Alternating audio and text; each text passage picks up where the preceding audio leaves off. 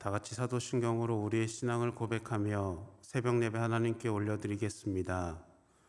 전능하사 천지를 만드신 하나님 아버지를 내가 믿사오며 그 외아들 우리 주 예수 그리스도를 믿사오니 이는 성령으로 잉태하사 동정녀 마리아에게 나시고 본디오 빌라도에게 고난을 받으사 십자가에 못 박혀 죽으시고 장사한 지 사흘 만에 죽은 자 가운데서 다시 살아나시며 하늘에 오르사 전능하신 하나님 우편에 앉아 계시다가 저리로서 산자와 죽은 자를 심판하러 오시리라 성령을 믿사오며 거룩한 공예와 성도가 서로 교통하는 것과 죄를 사하여 주시는 것과 몸이 다시 사는 것과 영원히 사는 것을 믿사옵나이다.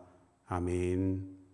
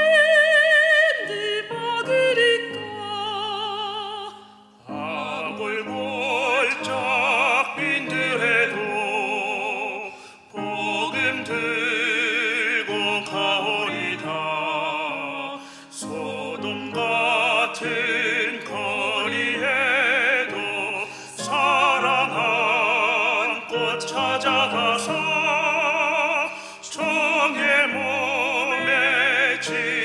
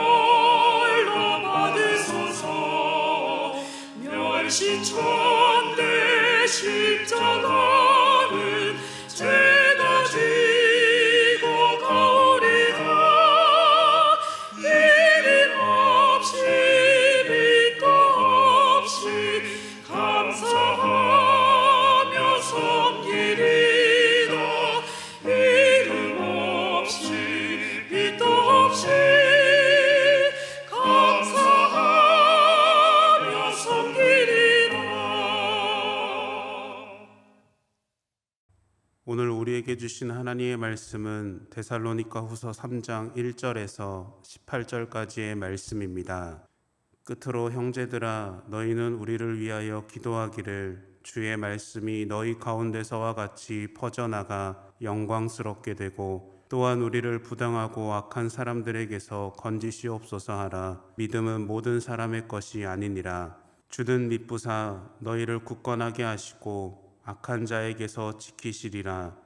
너희에 대하여는 우리가 명한 것을 너희가 행하고 또 행할 줄을 우리가 주 안에서 확신하노니 주께서 너희 마음을 인도하여 하나님의 사랑과 그리스도의 인내에 들어가게 하시기를 원하노라. 형제들아, 우리 주 예수 그리스도의 이름으로 너희를 명하노니 게으르게 행하고 우리에게서 받은 전통대로 행하지 아니하는 모든 형제에게서 떠나라. 어떻게 우리를 본받아야 할지를 너희가 스스로 아나니 우리가 너희 가운데서 무질서하게 행하지 아니하며 누구에게서든지 음식을 값없이 먹지 않고 오직 수고하고 애써 주야로 일함은 너희 아무에게도 폐를 끼치지 아니하려 함이니 우리에게 권리가 없는 것이 아니요 오직 스스로 너희에게 본을 보여 우리를 본받게 하려 함이니라 우리가 너희와 함께 있을 때에도 너희에게 명하기를 누구든지 일하기 싫어하거든 먹지도 말게 하라 하였더니 우리가 들은즉 너희 가운데 게으르게 행하여 도무지 일하지 아니하고 일을 만들기만 하는 자들이 있다 하니 이런 자들에게 우리가 명하고 주 예수 그리스도 안에서 권하기를 조용히 일하여 자기 양식을 먹으라 하노라. 형제들아 너희는 선을 행하다가 낙심하지 말라. 누가 이 편지에 한 우리 말을 순종하지 아니하거든 그 사람을 지목하여 사귀지 말고 그로 하여금 부끄럽게 하라. 그러나 원수와 같이 생각하지 말고 형제같이 권면하라. 평강의 주께서 친히 때마다 일마다 너희에게 평강을 주시고 주께서 너희 모든 사람과 함께 하시기를 원하노라. 나 바울은 친필로 문안하노니 이는 편지마다 표시로서 이렇게 쓰노라. 우리 주 예수 그리스도의 은혜가 너희 무리에게 있을지어다. 아멘. 함께 기도하겠습니다. 사랑의 주님, 오늘도 우리를 지키시고 인도하시는 은혜에 감사를 드립니다. 참된 믿음을 가진 우리의 삶 가운데 주님께서 이끄시고 함께 하시는 손길을 경험하게 하여 주시옵소서. 예수님께서 이 땅에 다시 오시는 그날까지 우리의 믿음을 지키고 우리에게 말씀하신 명령을 지키는 자녀가 되기를 원합니다. 믿음이 흔들리지 않도록 늘 우리를 붙잡아 주시고 세상의 소리에 따르지 않고 주님만 바라보는 우리가 되게 하여 주시옵소서. 주님 말씀 앞에 나아갑니다. 우리의 삶의 은혜를 베풀어 주시고 응답의 은혜를 누리는 이 시간이 되게 하여 주시옵소서. 모든 것 주님께 감사드리며 예수님의 이름으로 기도드립니다. 아멘. 할렐루야. 오늘도 하루의 첫 시간을 주님께 드리는 믿음의 성도님들 가운데 하나님의 은혜가 넘치시기를 축원합니다. 오늘 예배를 통해 주님께서 우리에게 말씀하시는 음성을 듣는 결단의 시간이 되기를 바랍니다. 오늘은 삶으로 드러나는 믿음의 은혜라는 제목으로 말씀을 나누고자 합니다. 1999년에서 2000년이 될 때 우리나라와 전 세계를 긴장하게 만든 이슈가 있었습니다. 그것은 밀레니엄 버그 Y2K입니다. 컴퓨터가 연도를 인식하지 못하게 되어서 오류가 일어나게 되고 그로 인해 금융 전산망의 마비, 핵폭탄 발사, 사회적으로 여러 가지 문제가 일어난다는 것입니다. 매일 쏟아지는 뉴스로 인해 사람들은 혹시 모르는 일에 대비하여 현금을 인출하기도 하고 생필품을 준비하기도 했습니다. 그렇게 맞이한 2000년 1월 1일 무슨 일이 일어났을까요?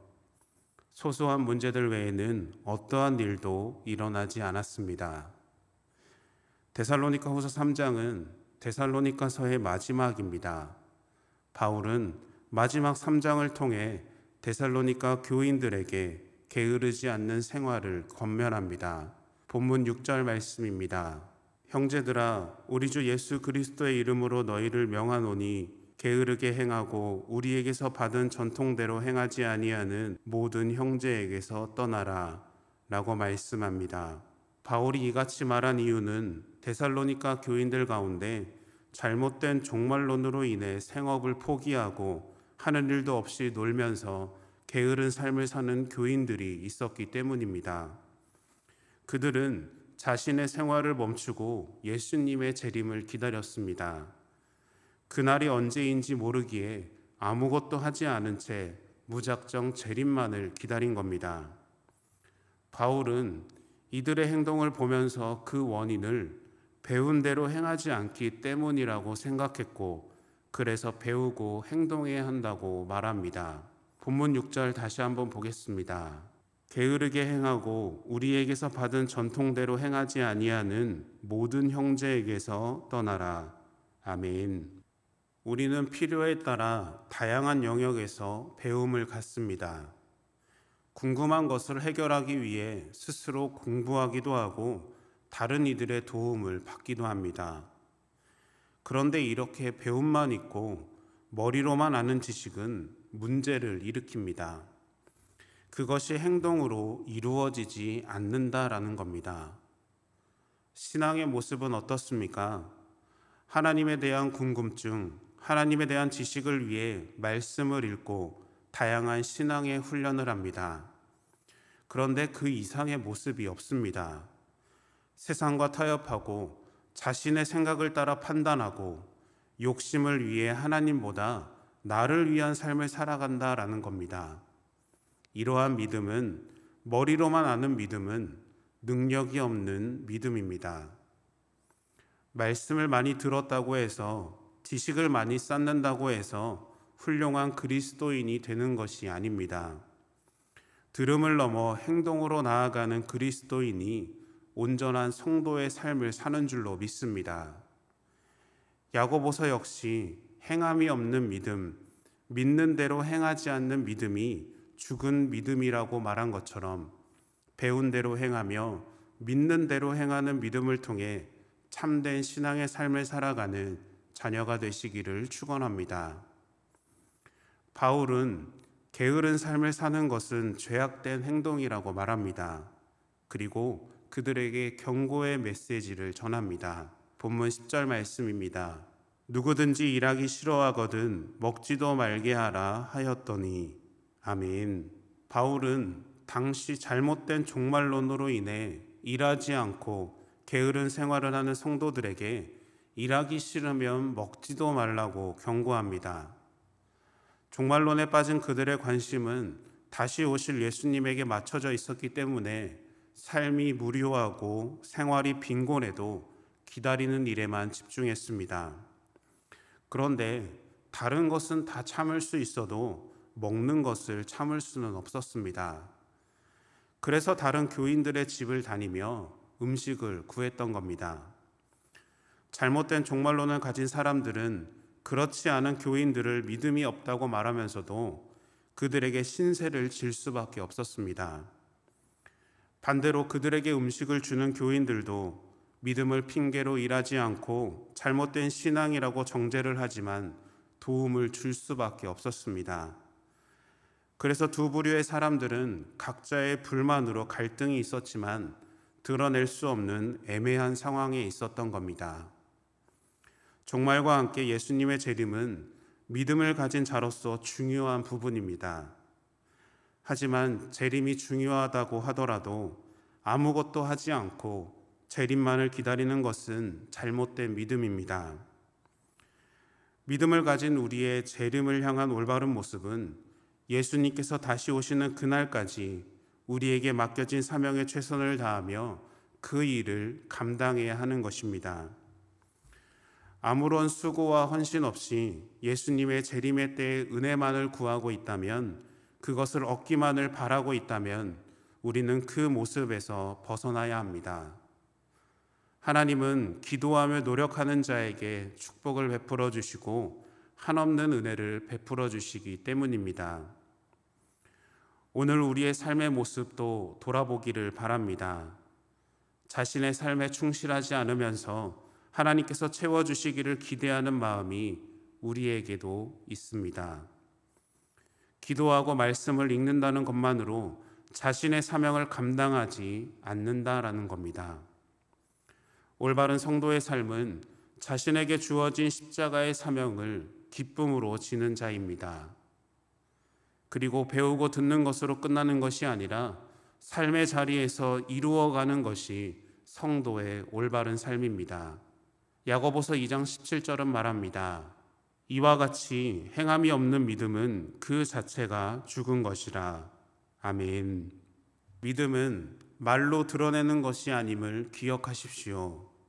자신의 삶에서 최선을 다할 때 행함이 뒷받침된 믿음이 있을 때 하나님의 풍성한 은혜를 누리게 될 줄로 믿습니다.